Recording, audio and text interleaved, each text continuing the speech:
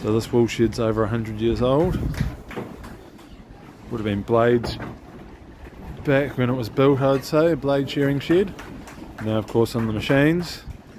And you know, the doors are old too because this latch is actually nearly worn through the wood panels on the door from rubbing back and forwards so many times.